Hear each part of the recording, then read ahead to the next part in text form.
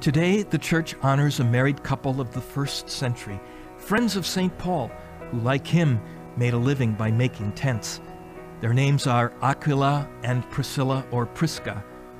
Hello, I'm Father James Kubicki, and there are numerous references to this holy couple in the letters of St. Paul and also in the Acts of the Apostles. At the beginning of chapter 18 of that book, we read Paul left Athens and went to Corinth. There, he met a Jew named Aquila who had recently come over from Italy with his wife Priscilla because Claudius had ordered all the Jews to leave Rome. Paul went to visit them and, because he practiced the same trade, stayed with them and worked, for they were tent makers by trade.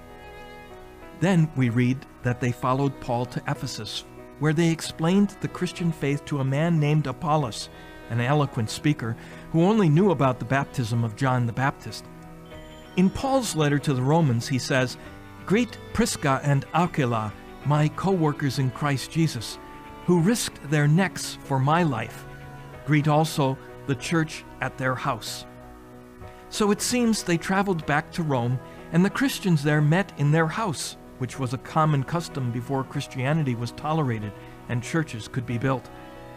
They are also mentioned in Paul's first letter to the Corinthians and in his second letter to Timothy. So there you have it lay people who had a profession that involved working with their hands, who explained the faith to those who needed instruction, who opened their house for Christian prayer, and who risked their lives to help a fellow Christian. They found holiness in the world and in their vocation of marriage. It's too bad that they aren't more well known.